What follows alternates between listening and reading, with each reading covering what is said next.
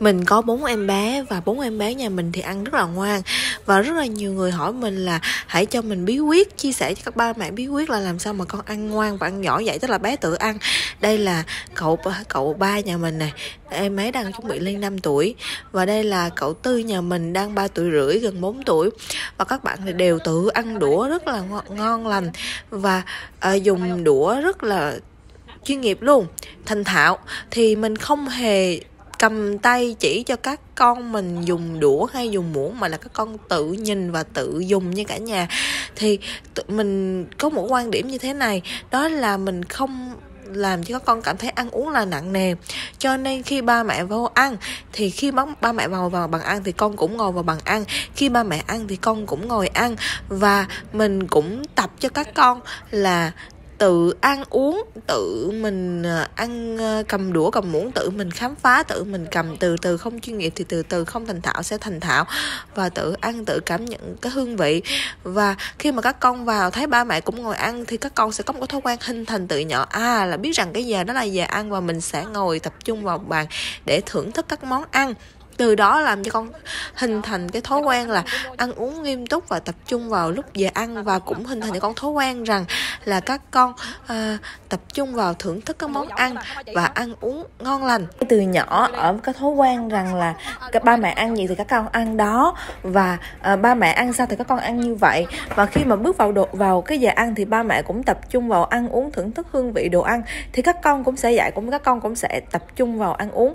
Mình thì không có thói quen cho các con ăn lan cũng coi như là không có thói quen là à, vào giờ ăn thì phải dụ con coi ipad coi tivi cũng không có cái thói quen rằng là khi vào vào giờ ăn thì phải năn nỉ các con. Mà là nếu các con không ăn thì các con sẽ nhịn đói và các con sẽ lỡ bữa và các con phải đợi cái bữa sau. Và mình cũng ít khi cho các con ăn vặt nghĩa là mình không mua bánh kẹo để cho các con, các con ăn vặt. Mà tập trung cho các con là chỉ ăn trái cây vào chỉ ăn trái cây vào sau giờ ăn thôi.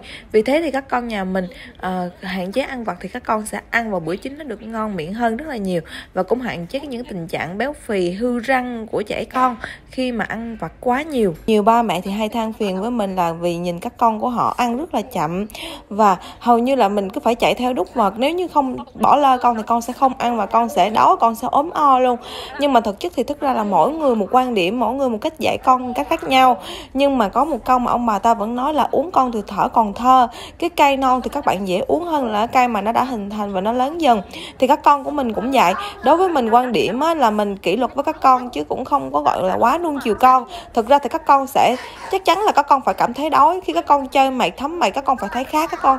Khi không ăn các con sẽ thấy đói và lúc đó các con sẽ trân quý đồ ăn hơn. Cho nên các con của mình thì rất sợ là bị bỏ đói rất sợ là không có đồ ăn.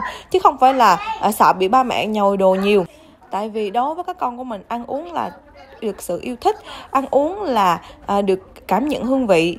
Đó và ăn uống nó là một cái thói quen hình thành từ cái nhỏ luôn tới từ lúc mà sinh ra sau khi cái vào cái độ tuổi ăn dặm là từ 6 tháng thì con của mình đã ngồi vào ghế và ăn dặm và ăn vào cái giờ ăn cùng với mọi người luôn. Con ăn mọi người cũng ăn và mọi người cảm nhận hương vị thì con cũng cảm nhận hương vị. Và từ đó thì con cảm thấy yêu thích những cái bữa gì ăn và đi ăn là một cái buổi khám phá những cái hương vị mới lạ những cái món thú vị. Và vì thế các con sẽ ăn ngoan hơn. Và thường thì con nít thì nó sẽ hay có sự là không chú tâm, không có chuyên tâm và nó hay giỡn. Thì mình chỉ ngồi bên cạnh là mình nhắc nhở các con ăn thôi. Còn trộm ví thì các con của mình thì mình không có hướng dẫn các con là không cầm tay chỉ các con cầm đũa như thế nào, cầm muỗng ra sao mà các con tự nhìn người lớn, tự nhìn người xung quanh và các con tự bắt đầu tập. Rồi từ có lúc sẽ rớt chứ, có lúc mà cầm đũa rớt đũa này, rớt lên, rớt xuống, rớt muỗng, rớt đồ ăn. Nhưng mà mình hãy coi đó là một cái chuyện bình thường và từ đó thì các con sẽ cảm thấy không ngại khi cầm đũa, cầm muỗng nữa và các con sẽ ăn rất là ngon lành.